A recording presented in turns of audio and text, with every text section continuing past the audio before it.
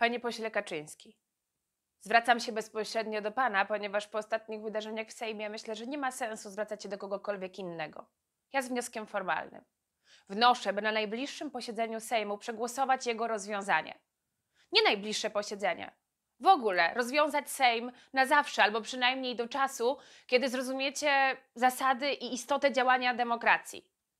Jeżeli tego nie zrozumiecie, to myślę, że szkoda naszego czasu e, i pieniędzy podatników na funkcjonowanie organu, który i tak robi wszystko, co pan sobie wymyśli. Jeżeli nie opublikowaliście wyników e, głosowania nad kandydatami do KRS-u, bo były nie po waszej myśli, bo je przegraliście, to naprawdę nie ma sensu funkcjonowanie takiego Sejmu. Już zawsze będziecie mogli zrobić to ponownie. Nie opublikujecie każdego głosowania, które przegracie.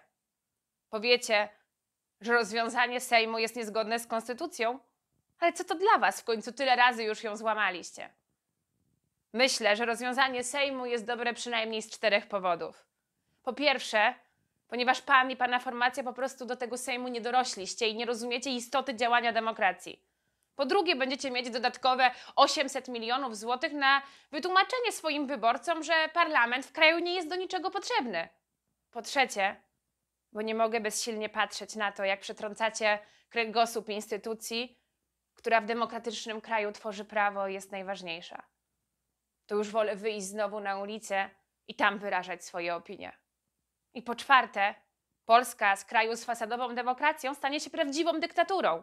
Wasza rewolucja znowu przyspieszy, będziecie mogli spełnić wszystkie swoje obietnice, nawet te niewypowiedziane. Wyprowadzicie Polskę z Unii, z NATO, aż rozwalicie się na najbliższym zakręcie historii gospodarczym albo politycznym. A wtedy my wrócimy. I przywrócimy prawdziwą demokrację, parlamentaryzm. Odbudujemy Polskę po waszych nieudolnych i skorumpowanych rządach. Myślę, że to dużo lepszy scenariusz niż przewlekła choroba populizmu. Odwagi, panie pośle Kaczyński. Odwagi.